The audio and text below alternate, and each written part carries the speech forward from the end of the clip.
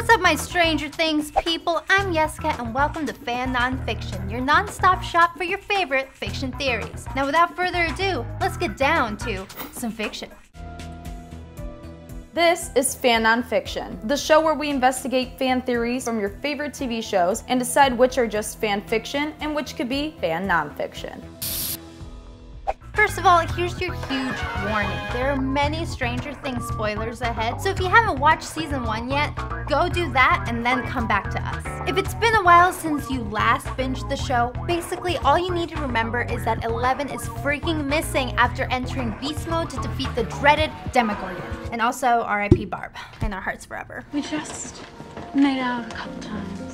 But in the final minutes of the last episode, we see Hopper leave some Eggo waffles in a box outside in the woods. So unless he's donating Eggo waffles to the forest animals, we're pretty sure this means that Eleven is still alive. Also, she's in the trailer for season two, so there's that whole thing. But one of the biggest questions people have after season one is who is this mysterious Eleven? Where'd she come from? And what was her life before she got kidnapped by the government? Well, apparently we're gonna get a lot of her backstory in season two. But until then, us fans have a couple ideas of our own. So let's break down the most popular theories as who Eleven actually is. Theory 1. Eleven is actually Jane, Terry Ives' missing daughter. We first meet Terry during Hopper's investigation into Hawkins' lab and Brenner. We later find out that Terry underwent government testing without knowing she was pregnant at the time. And when the baby, Jane, was born, Terry claimed that Brenner kidnapped her, but despite her best efforts, no one believed her.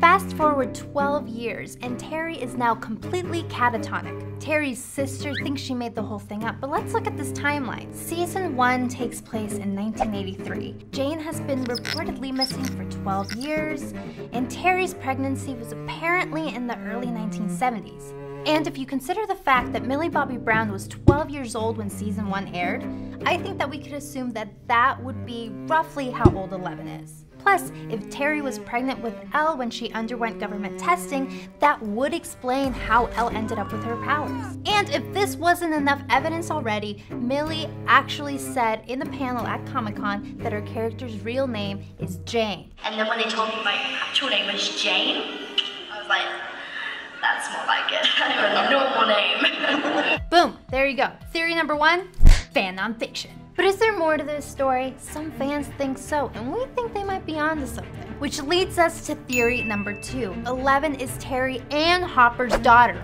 Psh, mind blown. This theory is based on the belief that Hopper's daughter, Sarah, actually never died. Instead, Hopper made up the whole story to help him cope with the fact that his daughter went missing, and he's been living in a state of delusion ever since. Now, I know this seems far-fetched, but let's take a look at this evidence. If we go to our timeline, we can see that there's some pretty weird similarities between Hopper and Terry's stories. Jane has been reportedly missing for 12 years. According to the math that I just did on my fingers, that would mean Terry stopped talking about seven years after Jane went missing. And when talking about his daughter, Hopper says, quote, those seven years, they were everything to me, implying that his daughter lived for seven years. He also tells Joyce that he's been working in Hawkins for four years. So according to this timeline, Terry stopped speaking right around the same time Hopper's daughter died.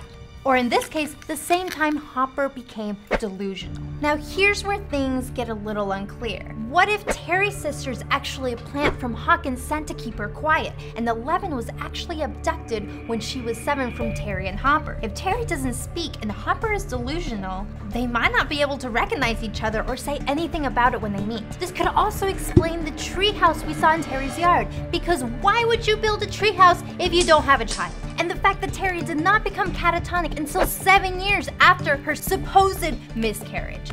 So what does this all mean? Well, this could just be a coincidence, but this is the Duffer Brothers we're talking about, so probably not.